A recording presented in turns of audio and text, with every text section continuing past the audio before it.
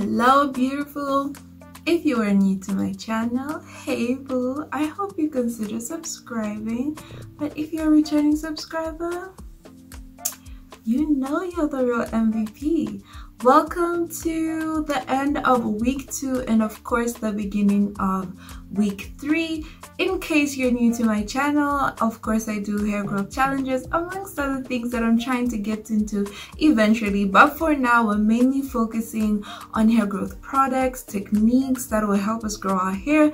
And this month i've been using cloves and without wasting more of your time we're going to get straight into how i made clove oil which i've been using for about a week now um so yeah let's get into the ingredients you will need and the tools you will need. So in the video that's playing right now you will see that i have my mason jar i have my cloves and of course um i have my oil.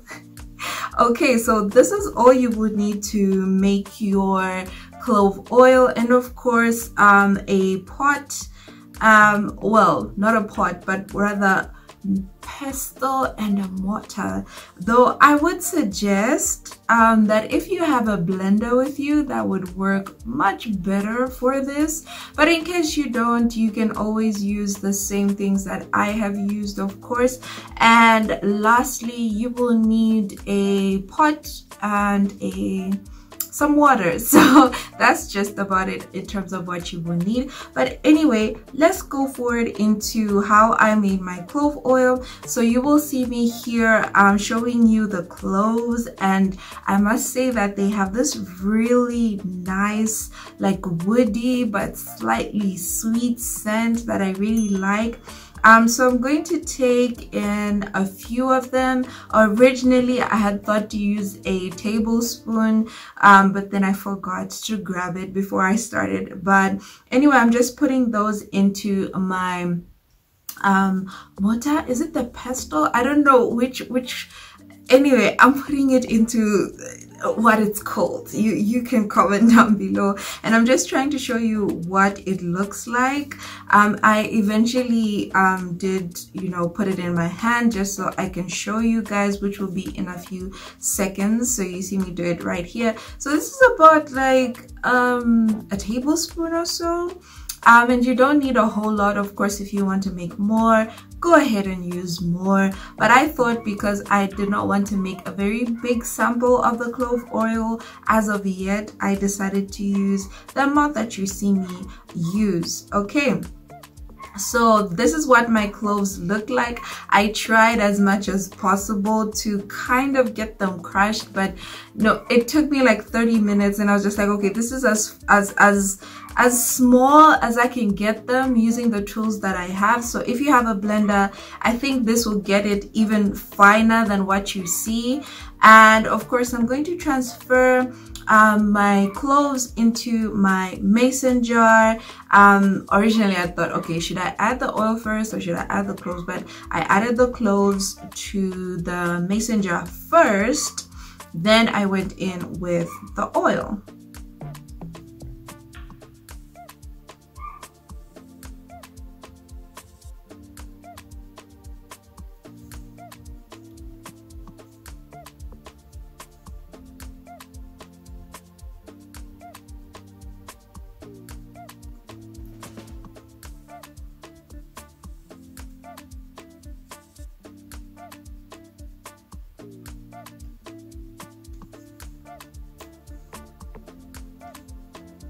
So i have to add that um, this was like my last bit of oil. So um, i need to get some more but as i said for this particular project it was enough. I am going to get some more you know because i am planning on doing much more many more diy so i am going to get some more oil but for what i had at that moment when i was making this I, I just made use of it and I went forward. So I tried to show you guys what my clove oil looks like.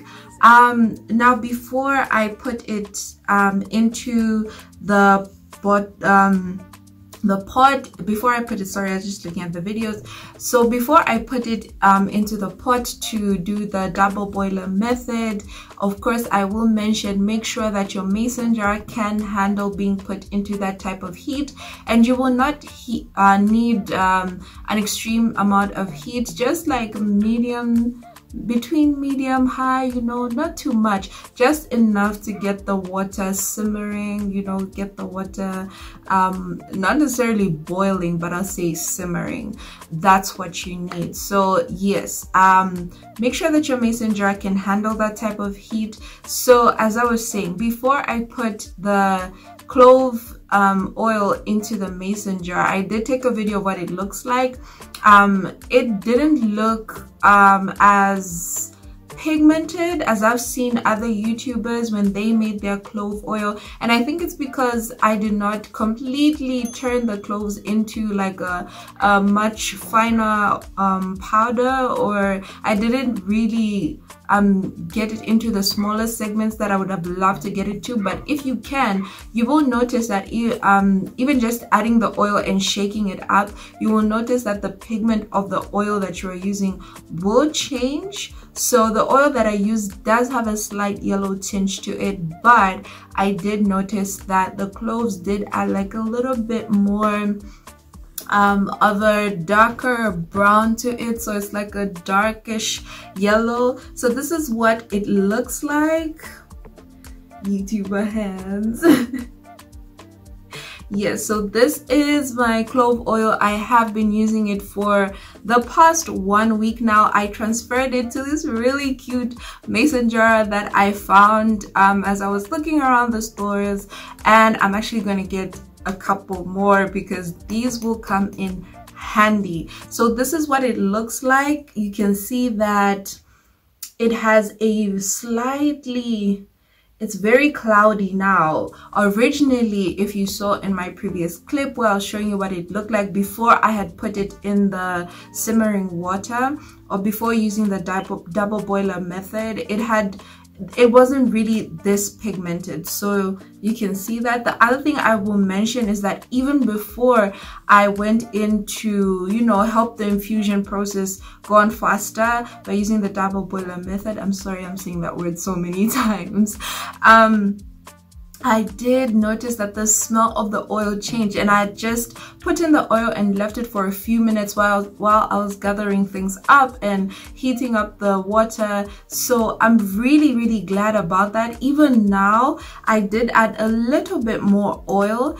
Even now, I can still, I still get that clove scent and it's really, I wouldn't say it's overpowering for me because I think I like it. it's not really the scent I would go for, but I like it. I really do like the scent of the cloves. So even just when I added the extra oil, just um, the cloves and the oil sitting together, I already got the scent. I'm like, okay, this works. So you do not have to go in and use the double boiler method if you do not want to or if you do not have mason jars with you. However, that would mean that um, if you'd want to start using clove oil, make sure that you make it in advance. Make it like two, three weeks in advance. Let the oil sit in a cool, dark place and that will start the infusion process. By the time you start using it, all those nutrients would have started to you know infuse into the oil and you get all the benefits that come with using clove oil. So that was a quick tutorial. I tried not to talk too much because this is just a way for you to make clove oil. And of course um it being our final week. Make sure you stay tuned because next week we're going to be doing our final length check. Let's see what these cloves have done for us. Do they work um uh the people who have been raving about it really telling the truth or not we're gonna see if it worked for my hair. So make sure you stay tuned. Um i'll make sure that that video comes out on time. Comes out next week monday Thank you so much for watching. Any questions, as usual, please leave them in the comments section. If I can't answer you, I will be sure to direct you to someone that I feel like might be able to help you out. Thank you so much for joining me today. Whenever you see this, you have a blessed day, blessed week, blessed month.